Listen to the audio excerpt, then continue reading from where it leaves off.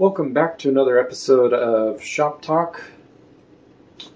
Today I'm going to talk about the Mix Power and Casoman brands from Amazon.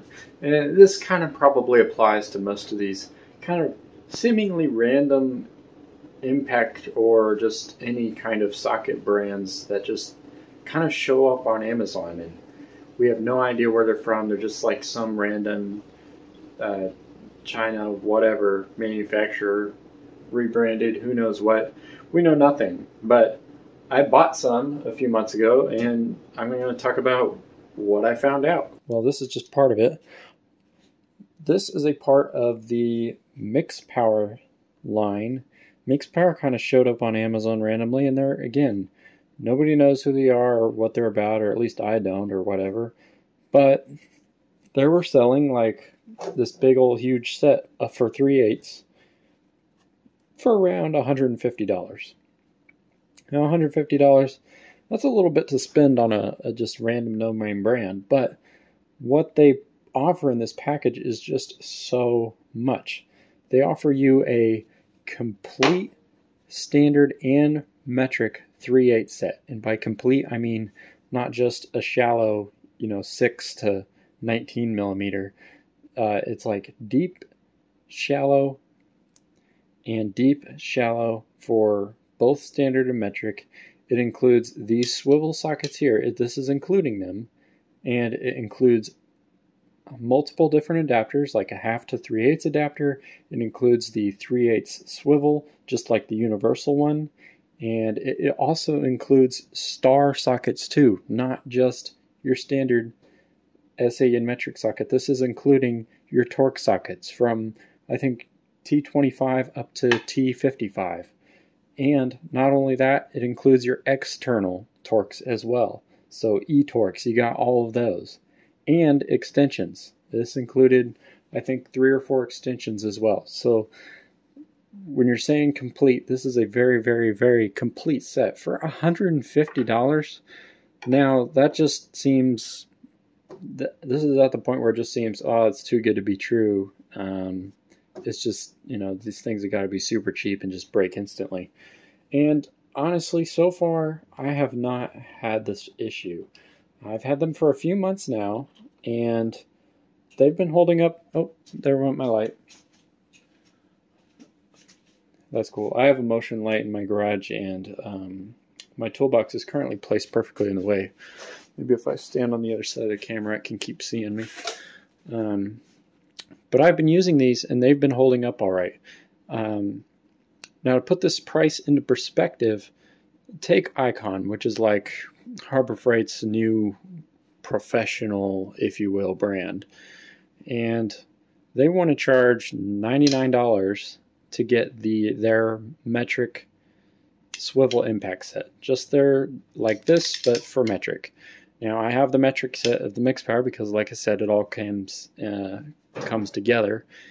And that's all you get is just those. This gives you both sets and everything else I just mentioned for $50 more.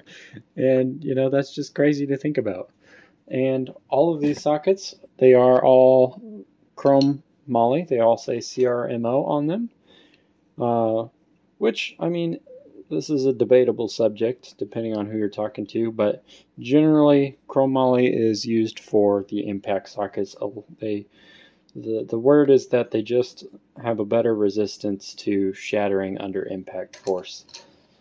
But take that with a grain of salt. But that's what they're all made out of, and I I haven't had any problems with them. I've been using them for a few months. Like I said, this is a 3 8 set, and I have used the half to 3 8 adapter on my Kobalt XTR Impact, which is up to like 1,300 foot pounds of braking force, something like that, and they've been holding up great. So, all right, we're really zoomed in here. We're going to take a very detailed look at these sockets here. This is my 10 mil. Uh, again, probably about eight years old and it's doing just fine. I mean, I really don't see. Uh, there's just a tiny, tiny bit of marring kind of right in here, just just a little bit. Um, You know, I mean, you can see these little lines just a little bit. Nothing much. Overall, still perfect shape, kind of pretty much just as how it was when I bought it. A little dirty, needs cleaned up, but overall, this guy, he's good to go. So set him aside. Um, this is the Mixpower socket, and I've been using this as my main socket, uh, or my main socket set, uh, since I bought them, which was a few months ago. Uh, it's written chrome moly 10 mil in there, and then it is printed right there, Mixpower. And um, it's really doesn't have any damage at all really yet um, that I can find. We look real close there, try to go around here, and it looks just to be just fine. So hasn't been damaged as of yet. Um, this is my Duralast 15, which again, probably my most used socket that I own, and it is well used. You can see the edges are just, they're worn just ever so slightly, uh, but overall, really, really holding up really well. Um, so go Duralast, I recommend you. I'm starting to lose all my coating, but yeah, it's just workhorse. Surprising to me is this icon socket. Um, it is taking quite a bit of chewing here. Like I said, I've only been using it about the same time as I have the mix power one, and this is just kind of starting to get worn a little bit. Uh, was it this side? That's actually a little bit of an edge right there that I can actually feel with the pick. And this is a fat pick. You know, if I had a thinner one, I'd really feel it. But you know, it's already kind of being marred up a little bit right here on the on the very edge just on the very outside edge. I mean, nothing much, but you know, for the brand that's supposed to be tool truck competitive, it's actually holding up the least basically out of, um, you know, just a store box chrome socket versus a random Amazon and uh, just part store stuff. I mean, nothing high end here, and it's all holding up better than what is supposed to be high end. So I find that to be kind of interesting. Now, I just want to go ahead and point out uh, this is the case that the set that I bought comes in. And like I said, 3 8 drive master impact socket set, 87 piece SAN metric, and it lists here everything that it comes with.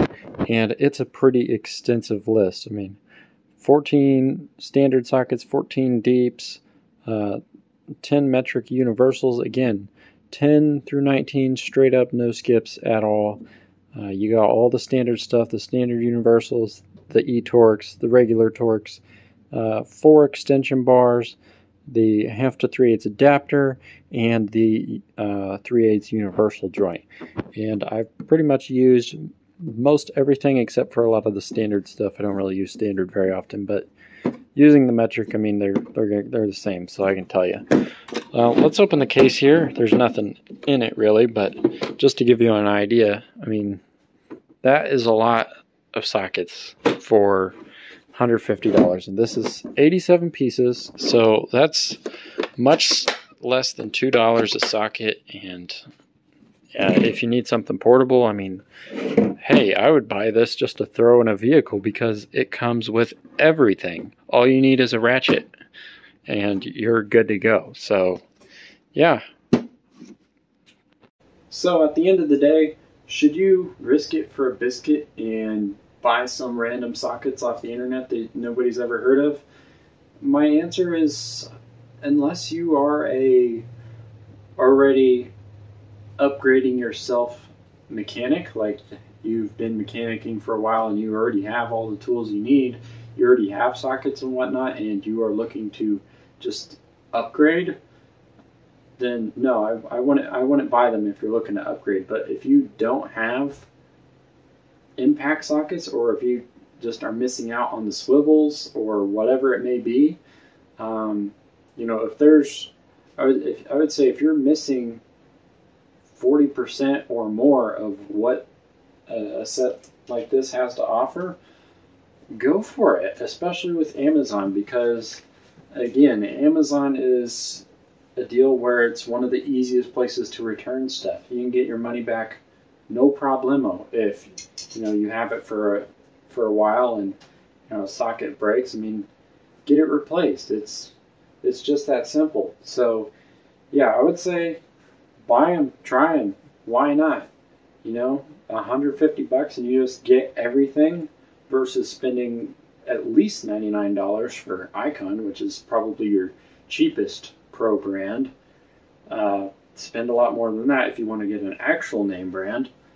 And you only get one row of sockets, you know, just buy. If you buy something like this, I mean, this is fantastic because it gives you everything that you need.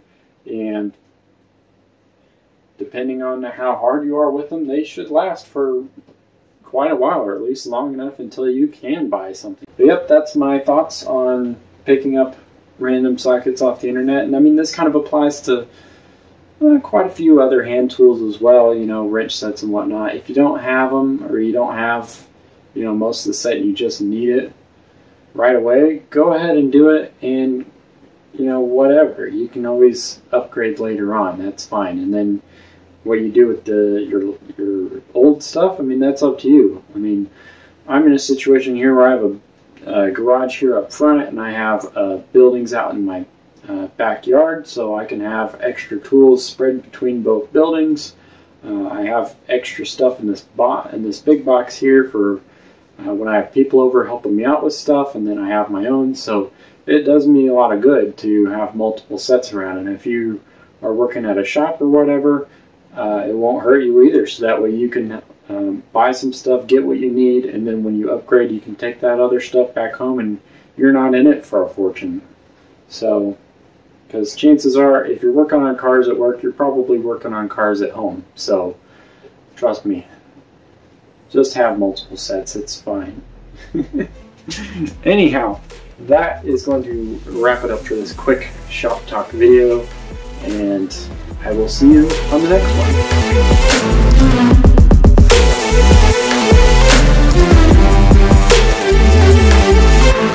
one.